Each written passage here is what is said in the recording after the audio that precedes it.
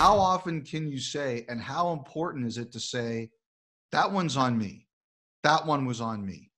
Well, uh, if you screw up, they know it before you do. Like I, I find, I, I, the players are super intelligent now, and you know it can be a simple thing as a line change, can be something in the game happened. They know that you messed it. They know that you, you know, messed up. Don't be afraid to just say, "Hey, have you done right? Have you guys have you missed one on the offside?"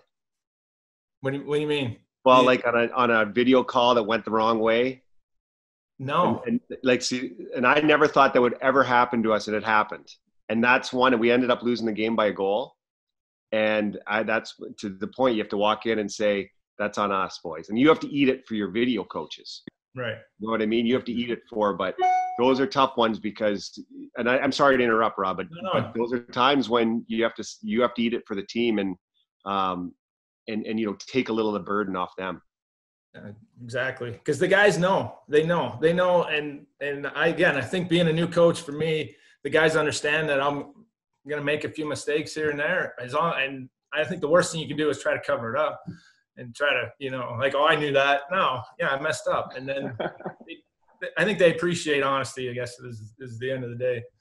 Mm-hmm. No different than any job, I think. Mm-hmm. I would agree. Absolutely. Um, we talked a little bit about the players today. And so you're always going to come into situations where um, you're going to have to discipline somebody. And as you said, you know, we you can't give them the strap like our parents all did to us. Uh, you can't do what your coaches did to you when you guys were all growing up and playing. Um, you know, I was reading a coaching book with Scotty Bowman, and he always said the one thing I had control over them was ice time. And so when you guys do have to discipline players now, how do you do it? That's a great, great one. I actually have a quick story on that. Um, last year, game seven against Vegas, we're in San Jose, and uh, Barclay Goodrow, who plays for Coop now, uh, I think he turned a puck over, missed an assignment, probably middle of the second period, cost us a goal.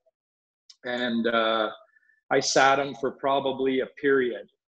Um, put him back out late in the third and then in overtime, and he scored our, our double overtime winner in game seven uh, for us to advance.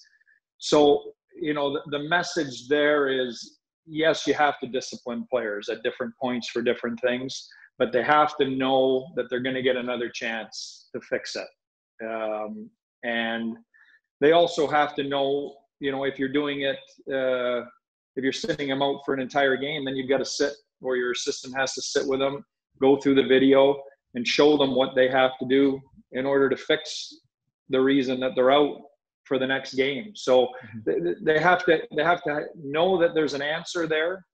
You have to show it to them. Here's the answer, and then you have to give them the opportunity to fix it. Uh, those are the two big things I find nowadays.